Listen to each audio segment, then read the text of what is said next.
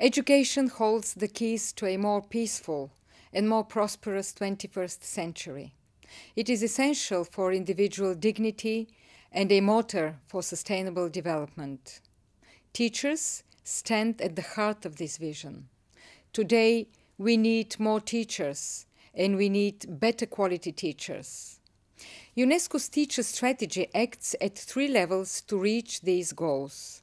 We work first to bridge the teacher gap by making the profession more attractive, by improving the status of teachers and their working conditions, by supporting policies to these ends, and monitoring their implementation.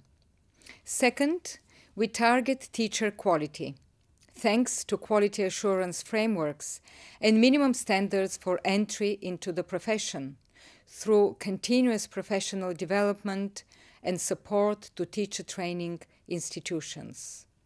And lastly, UNESCO seeks to lead the global debate to ensure better and sharper public policy.